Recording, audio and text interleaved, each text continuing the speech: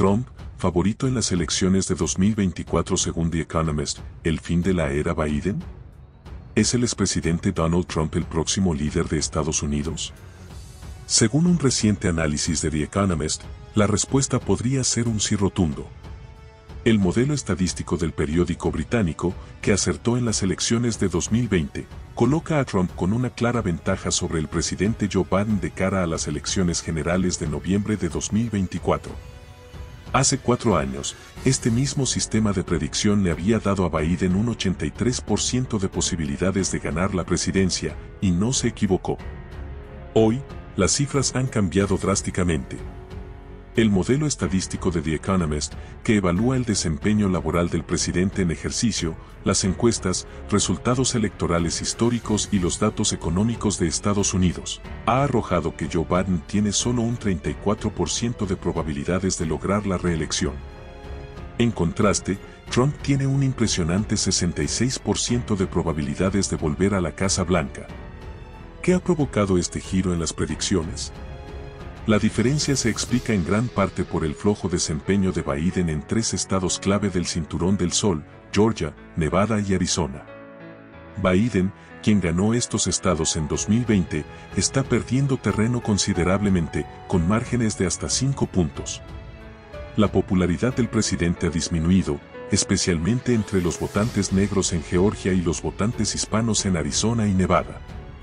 Según el modelo, Biden solo tiene un 24% de posibilidades de ganar en Georgia, un 31% en Arizona y un 36% en Nevada.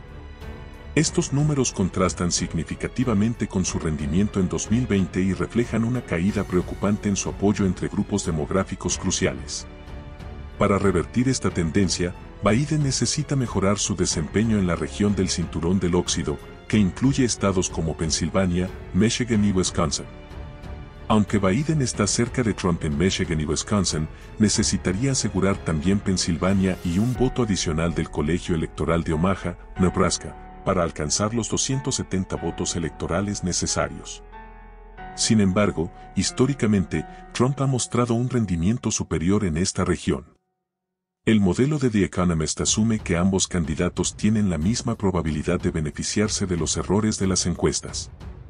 Si se considera que Trump ha ganado entre 3 y 5 puntos de cuota de voto desde 2020, podría estar en camino a una victoria decisiva, incluso en estados que tradicionalmente votan demócrata como Maine, Minnesota, New Hampshire o Virginia.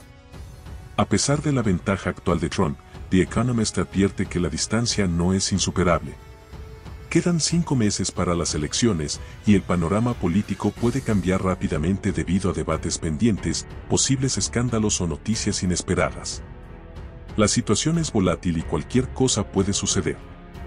Para aquellos que siguen de cerca la evolución de las elecciones, es crucial mantenerse informados y participar en el proceso democrático. Tu voz y tu voto pueden marcar la diferencia en el resultado final. Si te ha gustado esta noticia y quieres mantenerte informado sobre temas cruciales para nuestro país, no olvides darle like y activar la campanita para recibir todas nuestras actualizaciones. Tu apoyo es fundamental para seguir llevando la verdad a cada rincón del país.